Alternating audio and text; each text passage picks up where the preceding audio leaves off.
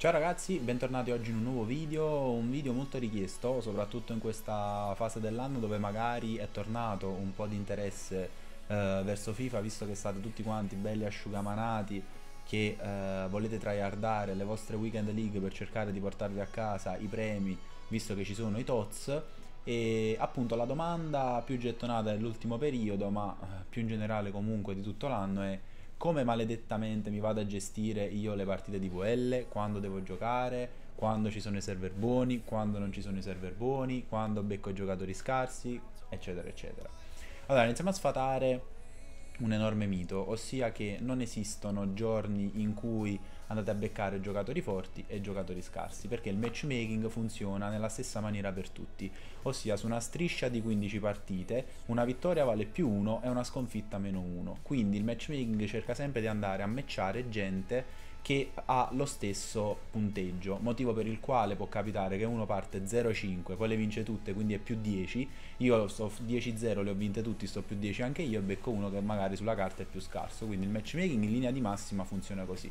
Poi che le vie del matchmaking siano infinite e siano oscure e possano capitare delle cose ambigue per le quali io sul 20-0 becco uno che sta a 19-11 eh, o 19-10 perché 19-11 ha finito la WL, quello è un altro discorso e non potremo mai capire in base a cosa effettivamente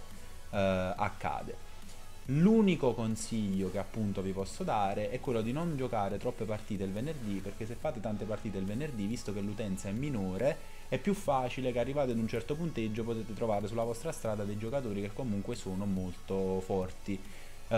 un'altra cosa che mi chiedete è come andare a controllare se un giocatore è verificato, è un pro player, eccetera. Ad oggi l'unico modo affidabile al 100% è controllare il sito di FIFA.gg, ovvero il sito dove sono registrati tutti i verificati che hanno guadagnato pro points e lì al 99%, a meno che, come nel mio caso, inserite la loro gamer tag, uh, vi deve per forza uscire se è verificato. Appunto, poi può capitare che magari la gamer tag sia differente, ma è veramente un caso raro è un caso limite. Uh, un'altra domanda ricorrente è quando c'è il gameplay buono, anche questo è un enorme luogo comune perché gameplay buono cambia da persona a persona, cambia da zona a zona, da città a città, regione a regione, paese a paese. Il consiglio che vi posso dare io è quello di non diventare schiavi del gameplay, schiavi della Weekend League, dovete cercare di giocare quanto più possibile nelle fasce orarie che più vi aggradano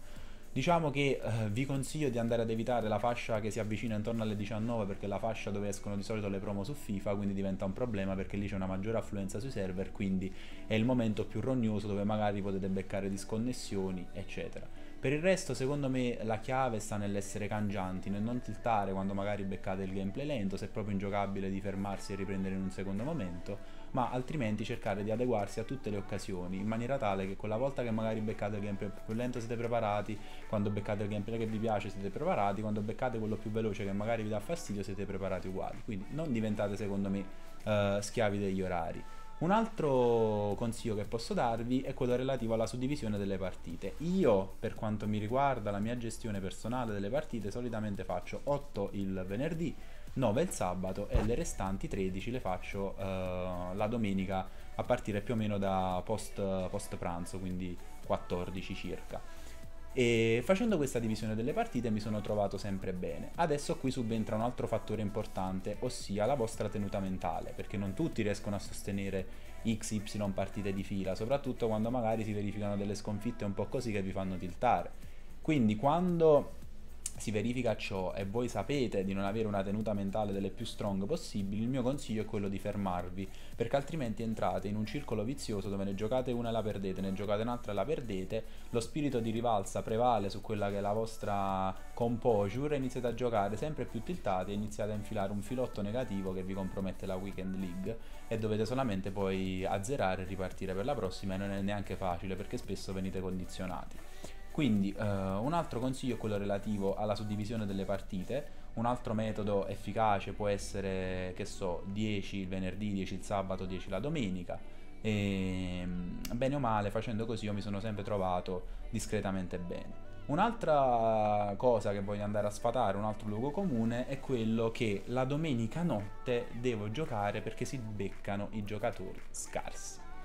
Ragazzi, questo secondo me è vero, ma fino a un certo punto, motivo per il quale ormai la domenica notte è diventato il covo dei peggio tryharder. Perché essendosi diffuso questo luogo comune, tutti quanti cercano di mantenersi le partite più importanti per la domenica notte. Quindi si va a creare un accumulo di giocatori con un buon risultato pazzesco e la possibilità di beccare a quel punto giocatori che bene o male sono bravi e hanno uno score simile al vostro aumenta. Anzi, ormai il mio consiglio è quello di giocare più nelle fasce pomeridiane, dove magari c'è più un'affluenza di casual player, piuttosto che la notte dove si concentrano proprio quelli accaniti che vogliono puntare a fare eh, ottimi risultati. Quindi diciamo che per quanto riguarda l'approccio alla Weekend League, queste sono le linee guida che io cerco di seguire. La Weekend League non è un qualcosa di eccessivamente oscuro, basta seguire secondo me questi piccoli accorgimenti già per poter andare a, a migliorare in un certo modo. Quindi nulla, spero che questi consigli possano esservi stati utili. Uh, e nulla, vi do appuntamento come ogni giorno in live su Twitch dalle 12 alle 16 e nulla raga, un salutone, peace.